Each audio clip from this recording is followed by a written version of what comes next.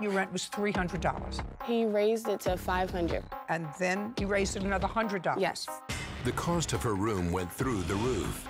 It's a free America. That's his choice. So she chose to make excuses instead of paying. There was 24 violations from housing. If he wants to live like a pig in his house, he could live like a pig in his house. And you have a choice to move elsewhere. Move! Next, Judge Judy.